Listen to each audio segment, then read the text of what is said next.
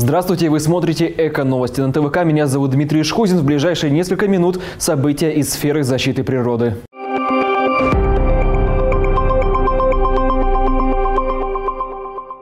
Ученые бьют тревогу. Скорость таяния ледников в Арктике увеличивается не по дням, а по часам. Северно-ледовитый океан уже потерял около трети своих морских льдов. В прошлом году 120 европейских исследователей зафиксировали рекордно низкий уровень арктического льда. По данным их отчета, за последние десятилетия уровень арктического льда сократился на 13%, а средняя толщина льда в Баренцевом море уменьшилась на 90%. По данным ученых, если существующий сегодня уровень выбросов парниковых газов сохранится, планета потеряет арктические льды буквально через четверть века.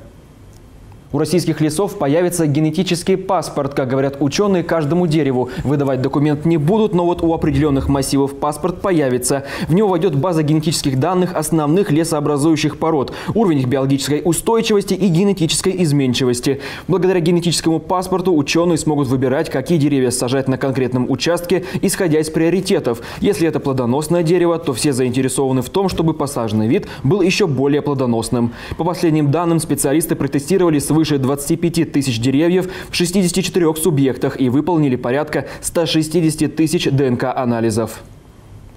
Красноярский край получит более 2 миллиардов рублей на электробусы и экологическое топливо для частного сектора. Как рассказали в правительстве, средства поступят в рамках федерального проекта «Чистый воздух» нацпроекта «Экология». В этом году на мероприятие по улучшению качества атмосферного воздуха Красноярск получит 588 миллионов рублей. Из них 443 миллиона направят на покупку экологически чистого транспорта – троллейбусов с автономным ходом. В 2023 году в Красноярск направят еще почти полтора миллиарда рублей. Из них более более 600 миллионов рублей потратит на обновление общественного транспорта. По дорогам планируют запустить новые электробусы и установить зарядные станции для них. Как рассказал президент Союза электромобилистов края Дмитрий Мотора, электробусы пока еще не ходили по Красноярску, но для этого есть все шансы.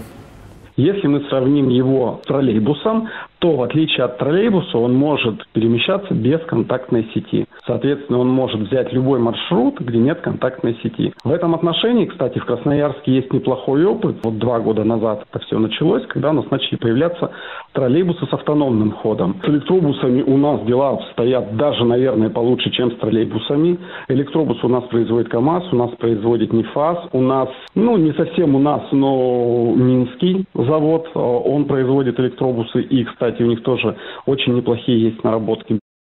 На этой неделе сразу шесть городов попали в зону повышенного уровня загрязнения воздуха. Красноярска в этом списке не оказалось. Наш город на 54-й строчке с загрязнением в 3 микрограмма на кубический метр. Это данные Российской экологической партии «Зеленые» с 18 по 24 июля. Самой грязной территорией за этот период оказался Норильск. Следом идет Благовещенск, а затем Ижевск.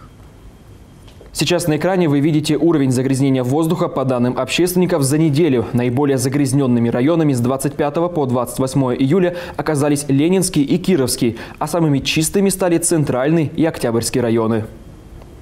На этом все. Вы смотрели «Эко-новости» на ТВК. До встречи в эфире.